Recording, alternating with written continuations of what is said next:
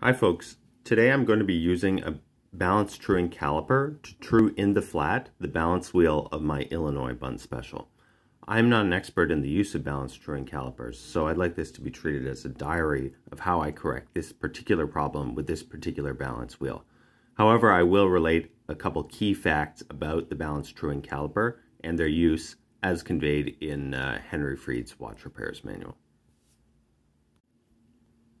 So this is a parallel balance truing caliper. Often you see them with a hub in the center and arms kind of in an X shape.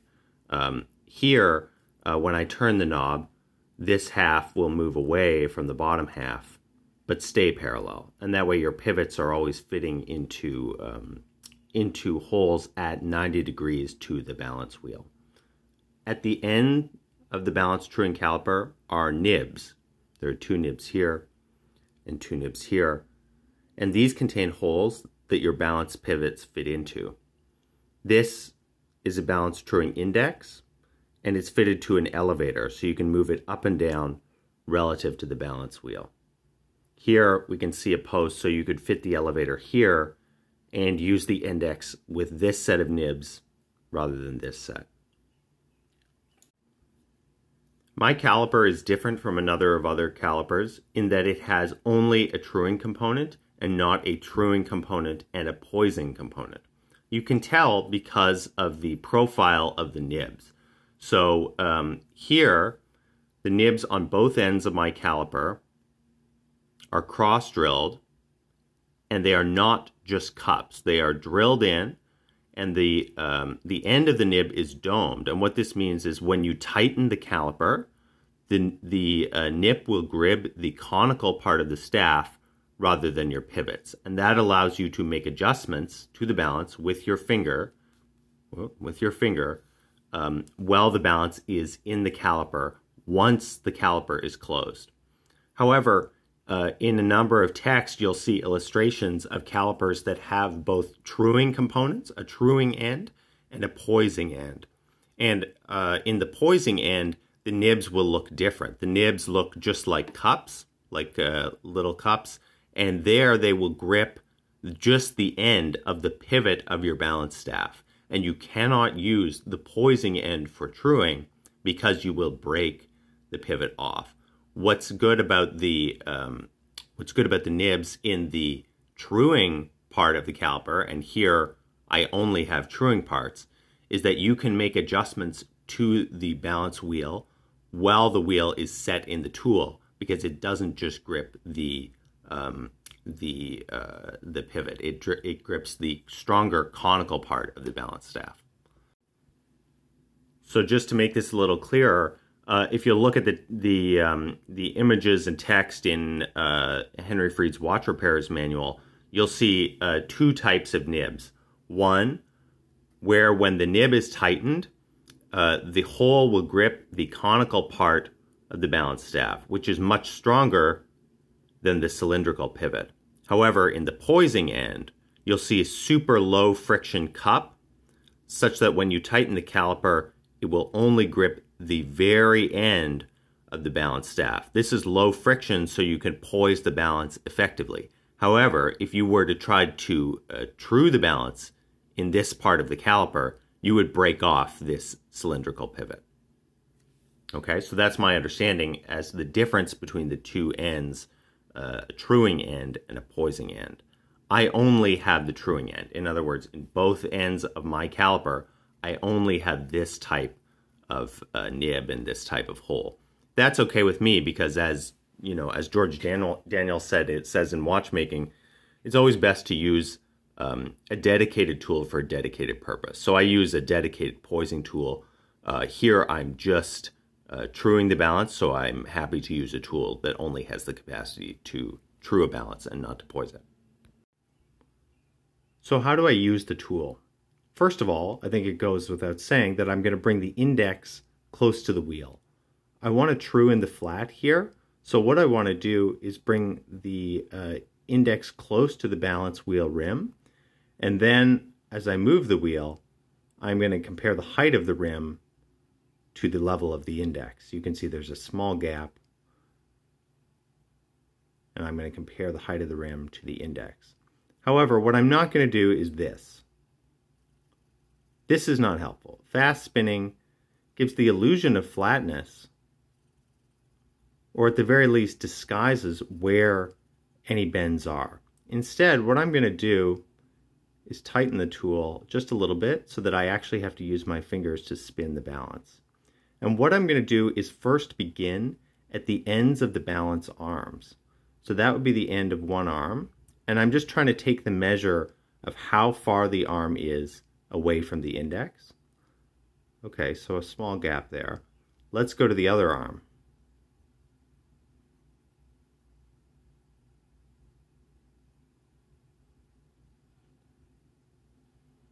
Hmm, perhaps slightly larger, but not dramatically so.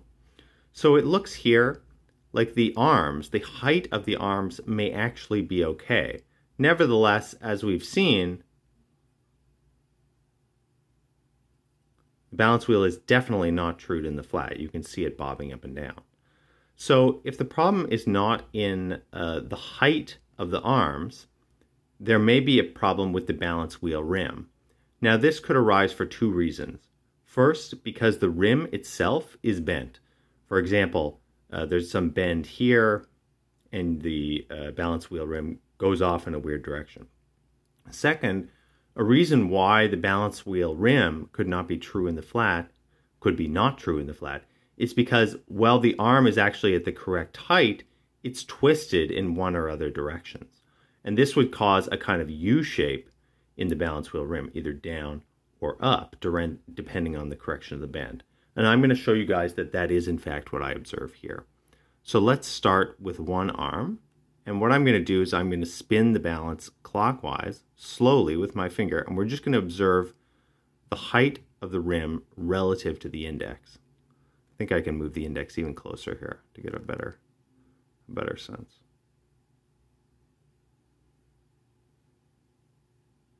Okay. So let's watch the index and slowly move the balance.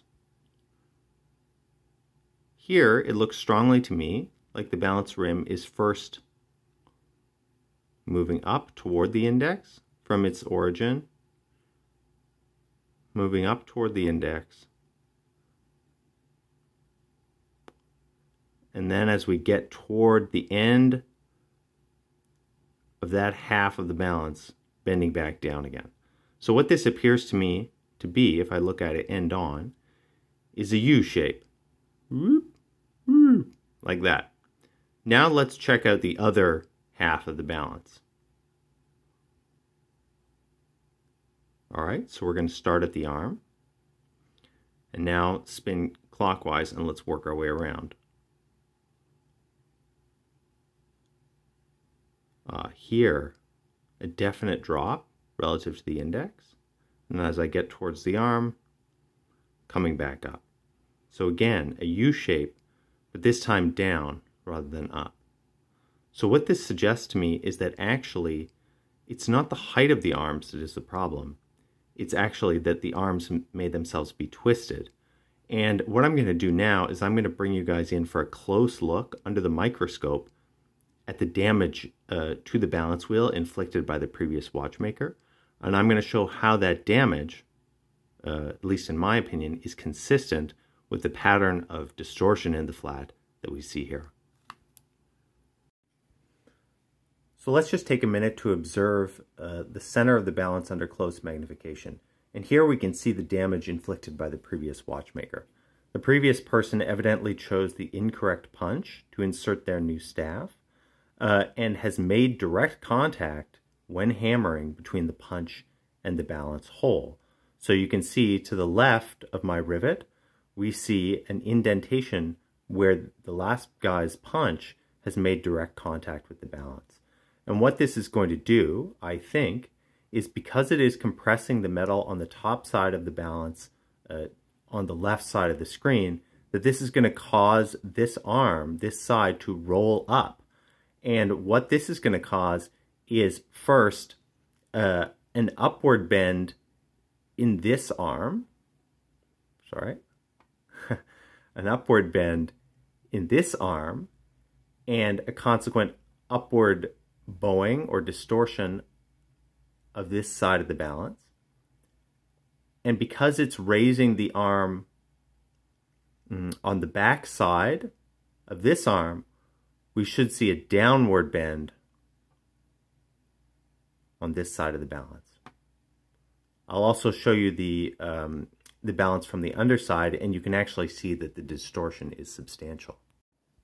So here's the underside of my balance wheel where it meets the hub of the staff. You can see the uh, the uh, intersection of the two, and you can also see the reflection of the hub in the uh, polished arms of the balance wheel. So here you can immediately see that the distortion is substantial, that on the left side, underneath where the balance has been directly hit, the balance is not sitting flush with the staff hub. Now this is not because I didn't push the balance wheel onto the staff.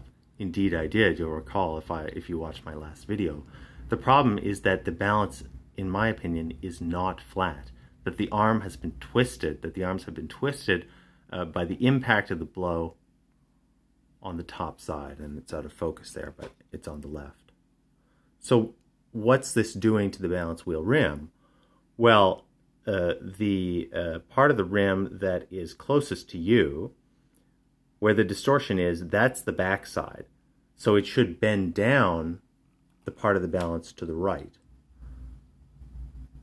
However, when we look uh, on the far side, uh, this is the front, uh, the part closest to the balance wheel rim for the other arm that is going away from us here, right? So what this should do is cause an upward bend uh, in that arm. So this is a twisting motion. It's not that the arms are, uh, it's not that the arms are not level, and it's not that the rim itself, oh, sorry, and it's not that the rim uh, itself is bent. The problem is that the arms are twisted uh, by the impact of the blow from a punch, and there we can get a better view of the damage inflicted uh, during the previous staff change. So we're going to have to find a way to correct this. I'm not sure that we're going to be able to correct it at the site of the original damage, um, but we should at least be able to correct it so that the balance is running true in the flat. And I'll talk next about how we're going to do that. So before we actually move on to correction, let's just make sure that the uh, distortion in the balance that we would expect to see uh, based on the damage that we observed is actually the way we observe it. So I showed before that we did have these sort of U-shaped bends, but let's just confirm that the side on which we would expect those bends um, is actually the side in which they occur. So the damage is on this side. So uh, what we'd expect is that this, the far side, this side, the right side, is where we would have a downward bend. So let's just check that that's the downward bent arm. Yes, indeed it is. Likewise, we expect an upward bend from this arm. Yes, there we see it, upward U-shaped bend. Uh, so it seems like we found the smoking gun here of uh, what's causing the um, the uh, vertical distortion in our balance wheel. So next we're going to go about correcting it. So how are we actually going to straighten out our band? Well, first of all, uh, Henry Fried advises doing it in the tool uh, with reference to the index. And because the, uh, the holes in the truing end of the caliper in these nibs grip the conical part of the staff, uh, you should not damage the staff as long as the tool is tightened down properly. Of course, if the tool is a little bit loose and um, one of the balance pivots is not fully inserted, into the nib and the nib bears against the cylindrical part of the balance pivot, of course you have the capacity to break the uh, staff here. But as long as you've got it tightened down, then you should be able to use your fingers to bend the balance back into true. So he actually talks about exactly this kind of U-shaped bend, the twisted balance arm. And for one that goes down, he advises putting your thumb in the center and your forefinger at the end of the arm and pushing up like so. So I'm not using much force here.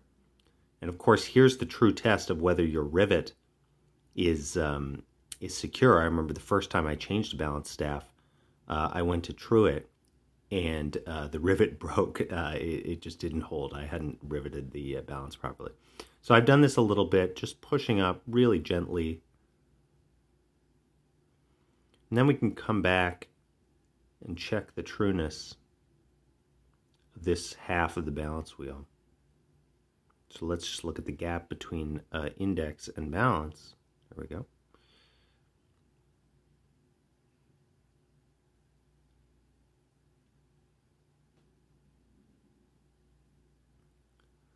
That's quite a bit better. Quite a bit better. We don't see that sagging anymore. So that's good.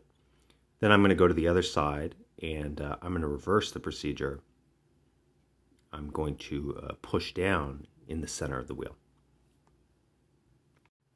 Okay, so I'm now on the other side and uh, in contrast to the previous adjustment, I'm going to use my thumb as the fulcrum here and just push down a little bit in the center of the wheel. Even a little bit towards the arm.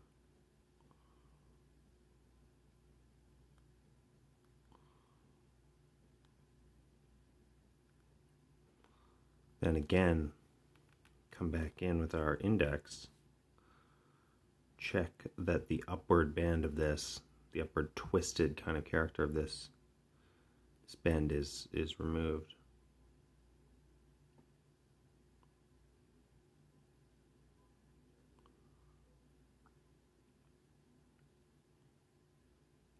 Okay, to my eye, that's a darn sight better. So let's just give the balance, uh, the capacity to swing a little bit more.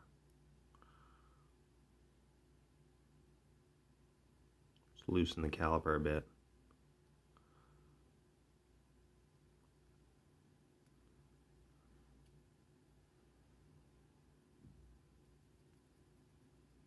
That's better. That's definitely better. Still wobbling a bit, but better. So I'm going to turn off the camera, get the old loupe out, and I'm going to work on this a little bit more. One other thing I'm doing just very briefly here is uh, coming in with brass tweezers just to concentrate force a little better in twisting at the ends of the balance arms. So uh, I don't want to dig in with the edge of my tweezers, even though they're brass, I, uh, I could mark the balance wheel rim. Um, Fried suggests uh, chamois line pliers for this purpose. I've yet to actually encounter them. Uh, but I'm just grabbing with the parallel part of my tweezers and just gently exerting some upward pressure. So again, I'm not digging in the edge of my tweezers. I'm just grabbing and rotating the whole balance wheel rim from that arm up. Uh, and the idea is just to twist in a little bit more concentrated way hold there, release. Okay, so we are actually making really good progress here. Um, if I bring in the index closer than before, I'll show you, we'll do a recap of the two arms now. Or the two, uh, the two sides of the balance wheel. Okay, so let's check in on the overall status of the balance. We are actually making really good progress. So again, we'll start from the arms. This time I'm going to get the index very close to the balance wheel rim. So there, I rotate the balance slow. I still see a bit of a dip.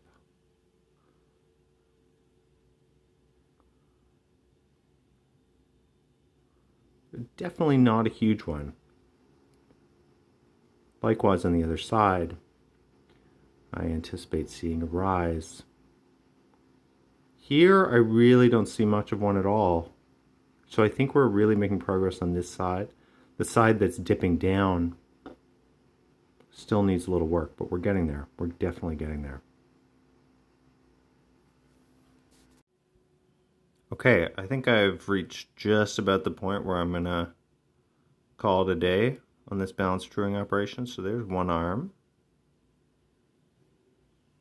Here's the other arm. This is definitely the worst, the worst of the two. And I've done my level best to get it level. It's very close. Maybe not quite. Maybe I could bend it a little bit further, but uh, I'm getting to the point where I really don't want to exert any more pressure uh, than is necessary to get it operable. And I think this is, I think this is operable. So um, one more thing I forgot to note earlier, the balanced truing caliper has this handy little stand. So if you want to go walk away because you're frustrated with balanced truing, you can. Alright guys, so here's the balance back in the watch. You can see it's a darn sight better than it was. If you watched my last video, it was really wobbling all over the place. It's definitely not perfect, but I dare not exert any more force on uh, on the arms uh, than I already have. So I'm going to call this a success, and uh, the next repair, hopefully the last repair, will be uh, replacing the impulse jewel. So thanks so much for sticking around. Uh, talk to you guys next time.